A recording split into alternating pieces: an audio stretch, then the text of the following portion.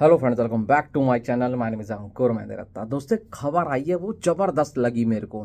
देखो, मैंने कहा इसके बारे में बात करना ज़रूरी है। अजय देवन के पास ना, अभी आने वाले वक्त के ऊपर ना, सारी की सारी ना फ्रेंचाइजी फिल्म्स हैं। और फ्रेंचाइजी फ़िल्म बॉक्स ऑफ़िस पे धंधा करती है, ये हंड्रेड परसेंट कन्फर्म है। बस उम्मीद करते हैं कि पब्लिक को ना फ्रेंचाइजी के नाम पर ना कहानी भी दमदार मिले। टू आ रही है सन ऑफ़ सरदार। दे दे प्यार, दे टू आ रही है। धमाल फोर आ रही है। मेरे कहने का मतलब है, जो उसका पार्ट है ना, उतना ही इंटरटेनमेंट उतना ही इंगेजमेंट और उतनी ही एक्साइटिंग फ़िल्म होनी चाहिए। ये तो हो गई अजय देवगन की बात।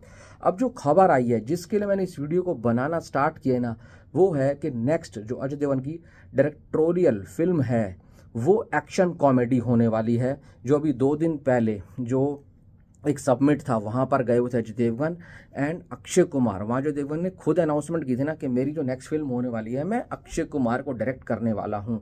तो उस फ़िल्म का जॉनर सामने निकल कर आ गया है। आ चुका है एक्शन एंड कॉमेडी। और सबसे अच्छी बात पता है क्या है? मैं क्यों एक्साइटेड हूँ इतना? क्योंकि उसके अंदर भाई साहब विक्की कौशल भी होने वाले हैं। ये ऑफिशियल न्यूज़ ही समझो, क्योंकि जहाँ से आई है, वो बंदा कभी गलत न्यूज़ नहीं देता है।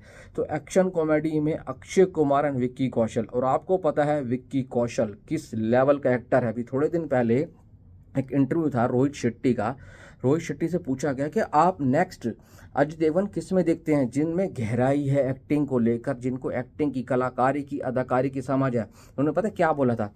विक्की कौशल। तो वहीं से हिंट मिल गया था कि अजय देवगन की नेक्स्ट डायरेक्शनल मूवी में ना, भाई ये होने वाले हैं। तो ये बहुत बढ़िया स्टार कास्ट है। बस उम्मीद करते हैं कहानी दमदार हो और अगर अजय देवगन कैमी हो जाएगा तो भाई सोने पे सुहागा हो जाएगा। आज तक अजय देवगन ने जितनी भी फ़िल्में डायरेक्ट की है ना, सिर्फ़ अपने लिए की है। आज पहली बार अब ऐसा होगा, वो किसी और के लिए डायरेक्ट करेंगे। जब किसी और के लिए डायरेक्ट करेंगे ना तो अच्छे से और डायरेक्शन की कमान संभालेंगे। उनके डायरेक्शन में कोई कमी नहीं है। उनकी किस्मत खराब रही है क्योंकि कोई भी डायरेक्शन वाली मूवी है ना वो बॉक्स ऑफ़िस पर धंधा नहीं किया है। भोला ने अस्सी पिचासी करोड़ किया था एवरेज से ऊपर थी फ़िल्म बट वो वाला जो होता ना कलेक्शन वो नहीं आया था। शिवाय में भी हंड्रेड करोड़ किया था उसने, पर शिवाय का बजट ज़्यादा था।